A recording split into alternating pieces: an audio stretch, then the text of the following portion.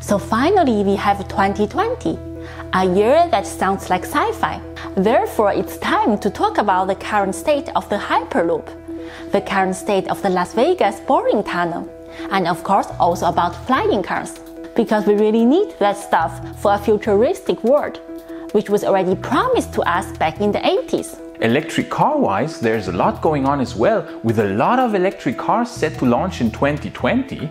Tesla expanding like crazy in China, becoming the leading EV brand in the Netherlands, the Tesla stock continuing to rise and rise, more and more sightings of the Model Y, and an interesting comparison of the Tesla Autopilot with other drive assist systems from the competition. Quite a lot of news this week, so stay tuned.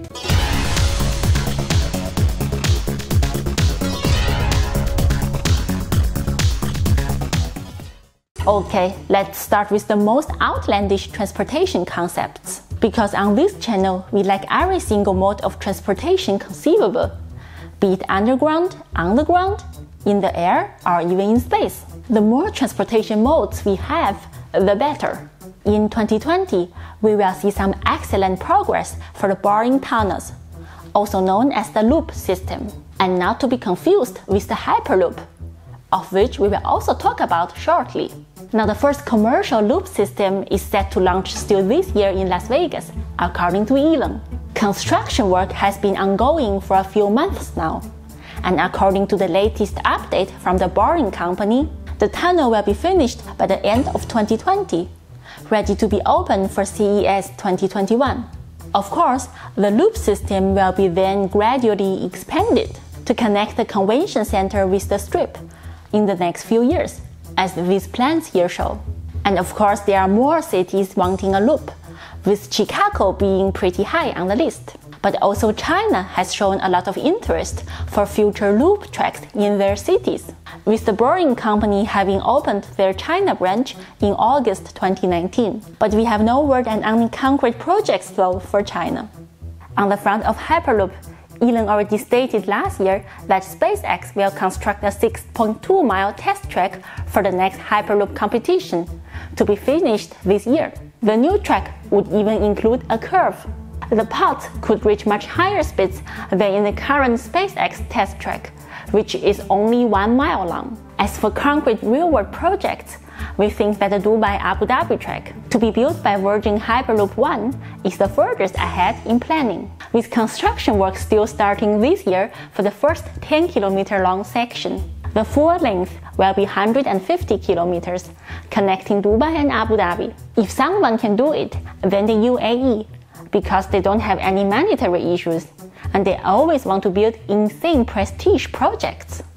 And then we'll also see a lot of progress with flying drone taxis this year, with the Chinese company EHang starting test flights of their EHang 184 in Guangzhou this year. The company signed a strategic cooperation agreement with the municipal government of Guangzhou in order to bring flying air taxis to market as fast as possible and set up the regulatory framework. Therefore, Guangzhou could become the first city worldwide to host a commercial air taxi service. Which is quite fitting if you ask us, because we've been there in 2018, and let us tell you, this place is like a sci fi cyberpunk vision of the future. We felt there like in freaking Blade Runner with giant buildings covered with huge screens and shiny flashy neon lights everywhere but unfortunately also with the bad air quality. Now let's hope that they will solve this issue, which we think they will because they're shifting towards renewable energies like crazy, so that a flight through Guangzhou in the future won't end up looking like this flight here from Blade Runner 2049. That wouldn't be so nice, even though this scene here is freaking awesome. Watch the movie. Now, apart from Guangzhou, we think that the second city worldwide to host a commercial air taxi service will be, of course, none other than Dubai. Because tests of the Volocopter have already been conducted there, and they are also pushing for faster regulation to make air taxis a reality as fast as possible. Now, the 2020s will be the decade where the flying car basically finally arrives, and we say it's about freaking time. But now back to our good old electric cars again, because there's so much happening there, it's insane. So many new electric cars will hit the market in 2020 and in 2021 it's, it's just mind-boggling. The most notable ones are of course the Byton M Byte, the VW ID3, the Polestar 2, the BMW iX3, an updated Kia Soul EV, the Seat El-Born, the Opel Corsa E, the Fiat 500e, the Peugeot E208, the Honda E, the Audi Q4 e-tron, and of course the most important one, the Tesla Model Y. And certainly we forgot also a few others which will come in 2020 and in 2021 a few more will hit the market, such as the Lucid Air, the Ford Mustang Mach-E, the Rivian R1T, and of course our beloved Cybertruck.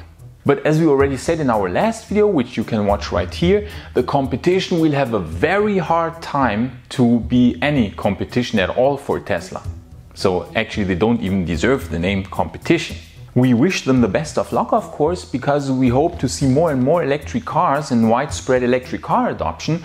But we're just stating the facts that Tesla is advancing more and more and progressing more and more while the others are even trying to catch up.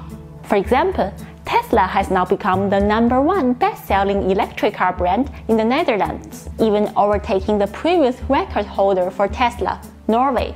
30,882 Teslas were registered in the Netherlands in 2019. And as we can see on this chart here, far outselling the number 2 and number 3 brands, Toyota and Kia respectively. So things are going pretty well for Tesla in Europe.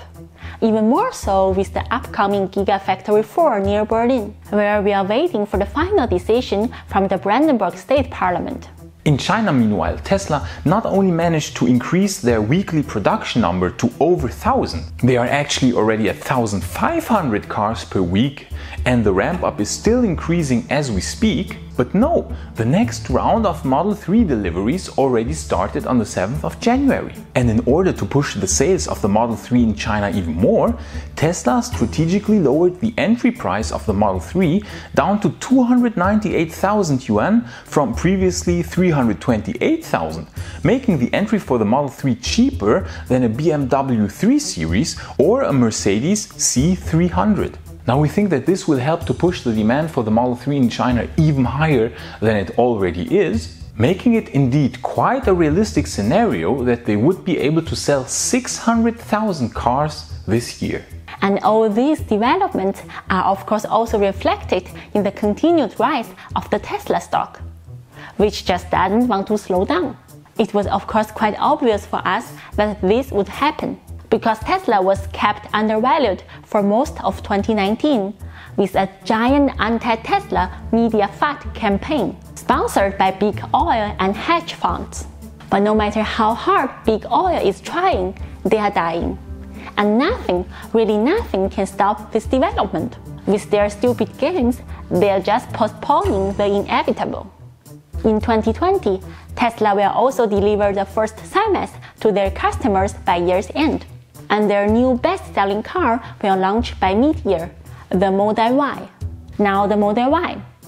While having had a very low-key introduction event in March 2019, which was by the way 100% on purpose in order not to impact the Model 3 sales, we can now see the Model Y being more and more sighted on the streets. And we have to say, we like the look of this car more and more.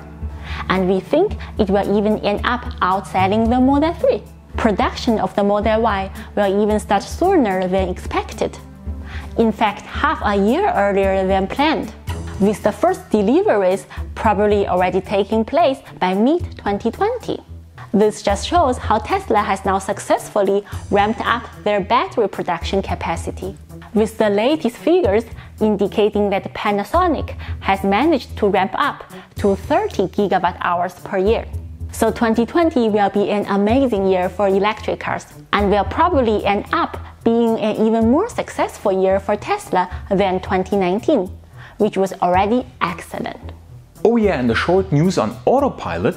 Some cool dude from another YouTube channel did a comparison between the autopilot of an entry level Model 3, so the Model 3 Standard Range Plus, comparing it with the top of the line drive assist capability of a super expensive and insanely specced out BMW M850i Grand Coupe, which costs a whopping $300,000. Now you can already guess who has, despite being almost 10 times cheaper, the much better driver assist capability? Correct! The autopilot of the Model 3 Standard Range Plus destroys the drive assist of a car that is nearly 10 times more expensive. The guy notes just how insanely far ahead Tesla already is with self-driving capabilities compared to the competition. Way to go BMW, way to go. Charge your customers 300k for a car that doesn't even have the basic drive assist functions of an entry level Tesla. Now this is of course one of the big reasons why the legacy automakers keep selling less and less cars while Tesla keeps expanding like crazy and sells more and more cars. And people say Teslas are expensive. 300k for a car that doesn't even have basic autopilot functions. So do you think that we can finally see the first flying cars, the first Hyperloop, and the first commercial boring tunnel still this year? I hope yes. Um, as Syd Mead said, rest in peace, Syd Mead, by the way, you were the best. Um, he said uh, sci-fi is reality ahead of schedule. So all this stuff will come true at some point. I'm convinced of that. And with regard to Tesla, do you think that the Model Y will outsell the Model 3? Be sure to tell us in the comments. So be sure to subscribe and turn on the notification bell because we upload twice a week new videos on topics of space flight, electric cars and many other disruptive technologies. So see you next time.